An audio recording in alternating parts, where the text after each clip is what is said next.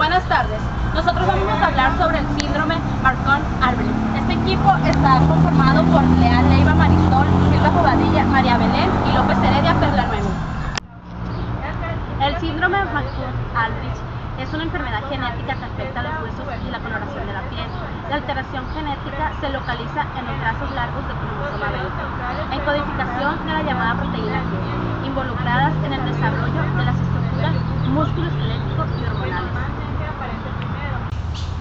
La mutación es el monosaicismo, o sea que la mutación se encuentra al azar en todas o en algunas células. Además que no es hereditaria, la mutación se produce al azar en la formación del embrión. Los niños que sufren esta enfermedad presentan un cuadro de displasia fibrosa, la cual que causa malformación en los huesos. Estas malformaciones pueden llevar a un crecimiento anormal del cráneo, provocando cegueras y sorderas, además problemas estéticos. Las displasias fibrosas constituyen un grupo de displasias en las cuales existen un fallo en la malformación de huesos esponjosos. La enfermedad McCune-Arbrick es un síndrome de rara aparición, caracterizados por una displasia fibrosa poliostótica, manchas cafés y varias imperfunciones endróquinas que comúnmente aparecen en la pubertad precoz. En ocasiones pueden acompañarse de otros tipos de alteraciones. El 95% de los casos reportados son de sexo femenino. El primer caso fue descrito por Donovan McCune en 1936, siendo caracterizado como síndrome por Fuller-Arbrick en 1937. La incidencia exacta es desconocida, siendo esta una patología genética espontánea y rara.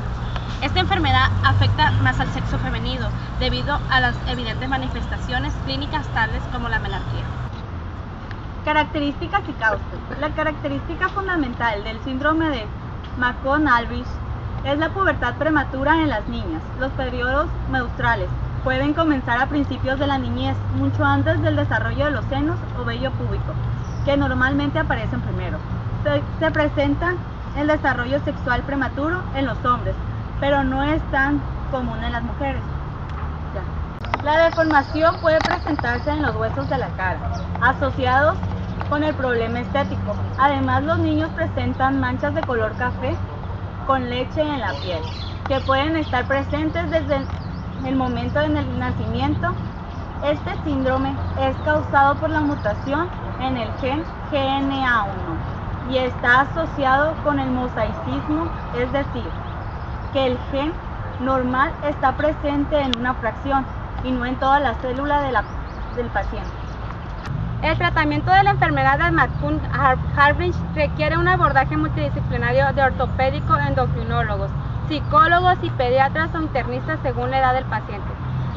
Los pacientes no necesitan una dieta especial. La actividad física solo se limita cuando existen lesiones óseas en zonas de carga de peso, con riesgos de fracturas patológicas. Debe evitarse los deportes.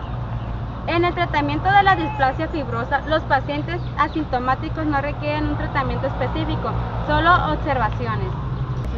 Algunas de las complicaciones del síndrome de McCone-Hydrich son las siguientes. Episodios repetitivos de huesos fracturados, deformaciones y problemas estéticos producto de las anomalías óseas, ceguera, sorderas, tumores y pubertad prematura. Diagnóstico. Se puede identificar el síndrome en un individuo cuando está presente los siguientes síntomas. Manchas de color café en la piel, pubertad prematura, infertilidad. Infertilidad es la menarquía en la niñez y desarrollo prematuro de las características secundarias sexuales. Esto, sin embargo, es más común en las niñas que en los niños. Y en raras ocasiones se puede asociar este síndrome a una forma de gigantismo. Es característica una alteración ósea denominada displasia fibrosa, por lo estática que incrementa el riesgo de fracturas en, estos pacientes. En conclusión, el síndrome de McCone-Halbridge es una enfermedad genética letal y el pronóstico de longitud es favorable. Las lesiones de la displasia fibrosa no progresan durante la edad adulta.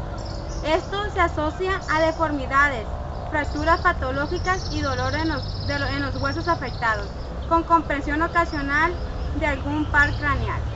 Por tal motivo, es primordial que se ofrezca nueva alternativa de tratamiento efectivo para, para mejorar la calidad de vida de estos pacientes, como es la corrección y prevención de, de deformidades disminuyentes, así el número de fracturas.